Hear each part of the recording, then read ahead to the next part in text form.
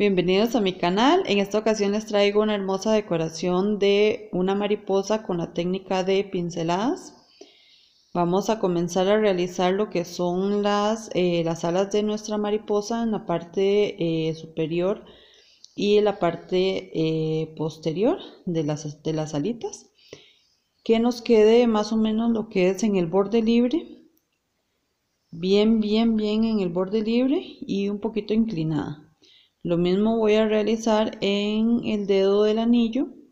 De esta forma voy a realizar lo que son las alitas eh, de arriba y las de abajo.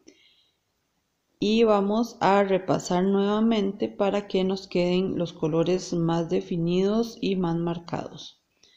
Vamos repasando de esta forma.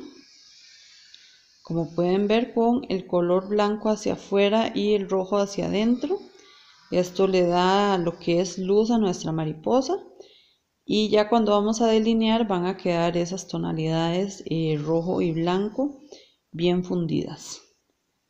Vamos marcando nuevamente lo que son las alitas de arriba, las alitas de abajo y en el resto de las uñas solo lo que tengo es un francés rojo con una linita en color plata. Ahora voy a comenzar a delinear de esta forma con un pincel bien finito y vamos a ir bordeando todo lo que es nuestra mariposa de esta forma con un color negro.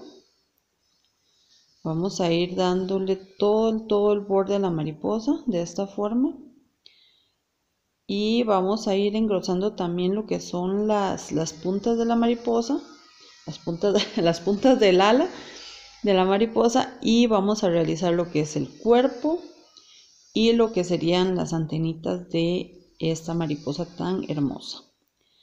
Vamos a ir haciendo todos los detallitos que queramos eh, agregarle. Yo voy a engrosar un poquito lo que es la punta y que nos vaya quedando ese borde negro que es siempre tan elegante de la mariposa.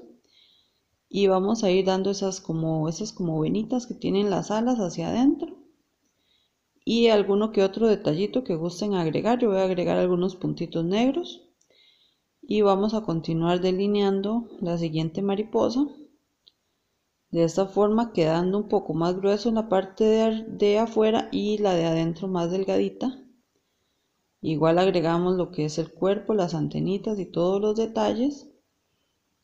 Y voy a agregar también lo que es eh, unos puntitos blancos y ya esto sería el resultado final. Así es como nos va quedando. Perdón mis manos embarradas.